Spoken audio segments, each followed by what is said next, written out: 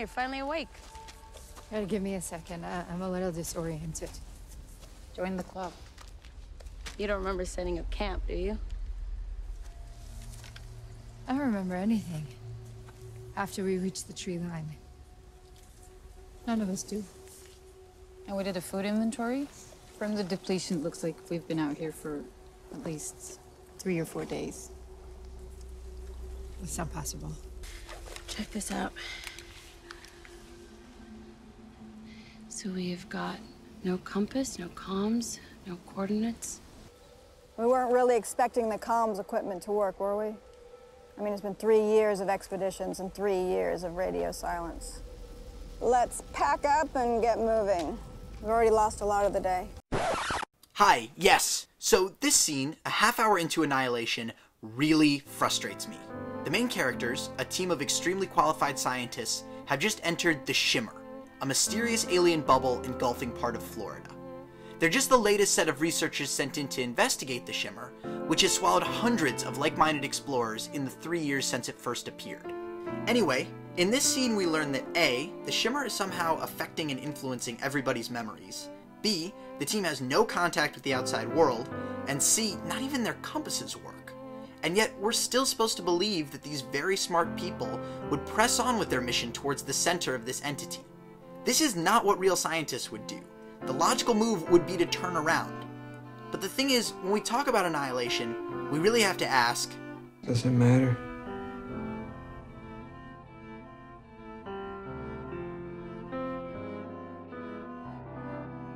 Annihilation is a 2017 science fiction film about change. It's a dense, complicated, and thought provoking text. Normally, these are qualities that make a great movie, but we can't treat Annihilation the same way.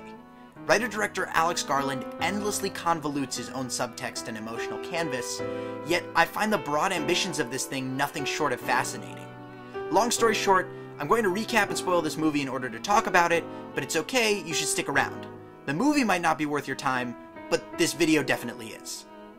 The plot goes a little something like this. Lena, Natalie Portman, and Kane, Oscar Isaac, are a married couple drifting apart. The pair met in the military, where Kane stayed while Lena left to become a biologist and eventually a professor at Johns Hopkins. With their relationship collapsing, Lena has an affair with her coworker. Kane, still in the military, finds out and chooses to leave for another dangerous mission. But before he goes, he tells her, I do. Love you. Lena. Little does Kane know he's being sent into the Shimmer, that alien soap bubble. Kane vanishes for more than a year, then abruptly turns up back in Lena's house. He asks if any of this matters, and then his body starts breaking down. Kane's former handlers grab him and Lena, who gets recruited to enter the Shimmer herself. That's how we get to that scene that drives me nuts. Let's pack up and get moving. In the Shimmer, the team of scientists slowly turn against itself and meet this terrifying bear that talks in human screams. It is the stuff of nightmares. Eventually, Lena reaches the center of the Shimmer, where she finds out that the Kane who came to visit her is actually a duplicate. She enters the Shimmer's source, where she meets and fights a being that tries to replicate her. Lena burns the Shimmer-infested lighthouse, then leaves. Back at the military base, I refuse to call it Area X, that sounds like something out of a bad 90s comic book, Lena is interrogated, and we're told that Kane has woken up. Lena and Kane embrace, but the final scene shows that they've both been forever altered by their experiences in the big ol' soap bubble. Now, this is a very literal plot summary of a movie working overtime on symbolic terms. At its core, Annihilation poses the question of whether or not two people who are constantly changing can stay together. As a result, it's hard to talk about the film because this is such an abstract question. But it's also rich dramatic territory. No one, no matter who you are, will be the same person they are today tomorrow. That's a scary prospect. It's impossible to hold on to the self you are in this very moment as our environment, our internal biology, and our agency push us in different directions. Honestly, the last movie I can remember that visualized abstract ideas like this was Pixar's Inside Out. But Annihilation's closest competitor has to be Denis Villeneuve's Arrival. Both films have an essential subplot about the protagonist's rocky romantic relationship, employ a nonlinear narrative, and have brilliant cinematography. But Arrival works on both literal and symbolic terms, while Annihilation needs you to be invested in its metaphors. Garland represents the ways individuals evolve and self destruct both visually and through dialogue. In a way, it's two bereavements. My beautiful girl and the person I once was. Many of the conversations between characters are laden with double entendres and foreshadowing, as if instead of discussing events, they're talking through the film's themes. That's a metaphor. Sure. To be fair, Garland tries to tell us how to read the movie immediately. One of the first images we're shown is a meteor crashing into a lighthouse, which produces a great frame but is incredibly unlikely if this happened in real life.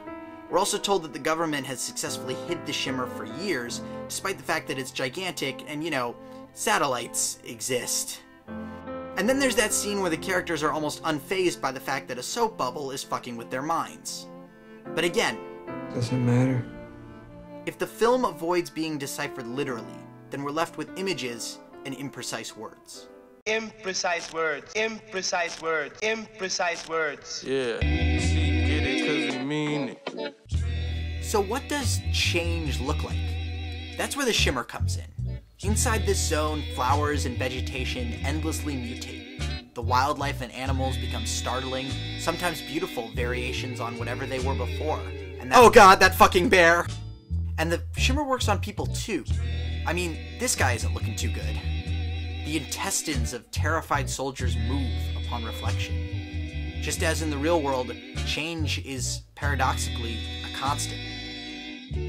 So, we're always changing, but are we getting better or worse? Garland's fixated on this idea of self destruction. If we're not staying the same, are we destroying ourselves? What's the line between growth and, well, Annihilation. Again, the shimmer doesn't have any kind of agenda or motive or endpoint in mind. It just generates change.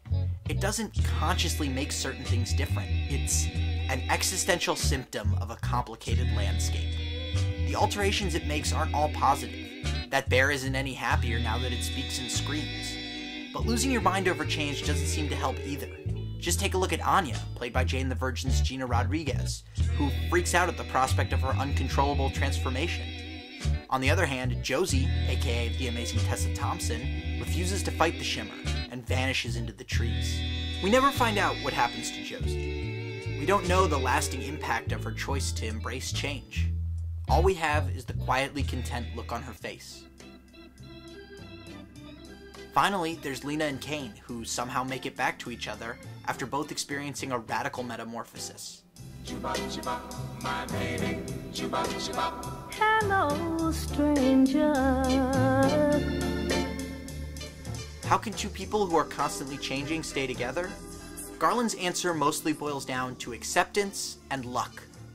According to Annihilation, rejecting change is another form of self destruction, though the film understands that embracing change is just as scary. We have no control over the outcome, and no matter what we do, the self we are today will be gone tomorrow. That's pretty profound. So, why isn't this movie better? Rewatching Annihilation 10 months after release, it's clear Garland makes a choice that unnecessarily overcomplicates everything the non-linear narrative. We open with Lena, back at Area X, and her interrogation becomes the framing device for the entire film. Then we cut to the meteor crashing into the lighthouse. Then back to Lena at Johns Hopkins after Kane has left, but without any of the necessary information to understand their relationship. Then, five and a half minutes in, we get a flashback within a flashback of Lena thinking about Kane before he left.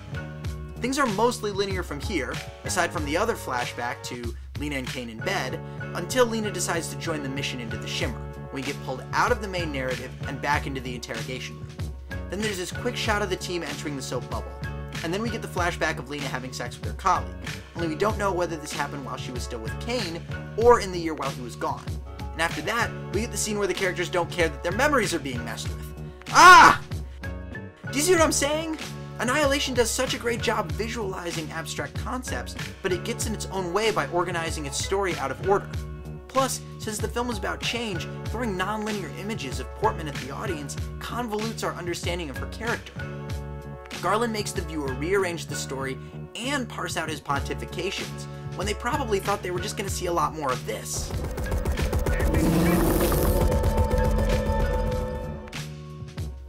The Shimmer is an incredibly interesting location, So why do we keep getting pulled out of it? Flashes forward to Lena being interrogated are dead weight, and the non chronological cuts make it hard to figure out if we should be invested in Lena and Kane staying together. And make no mistake, that's definitely the central relationship. It's just that Garland makes it very, very difficult to gain an understanding of that emotional landscape.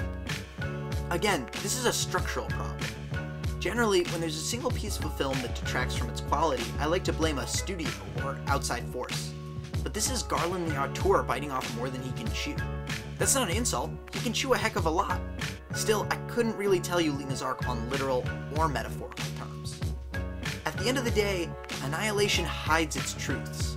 And that's okay in theory, but this choice really hurts the movie. There's meaning to be found, it's just harder to get at it than it should be. Beneath the fabulous cinematography lies a dense, disorganized thesis. I don't love Annihilation, but I should.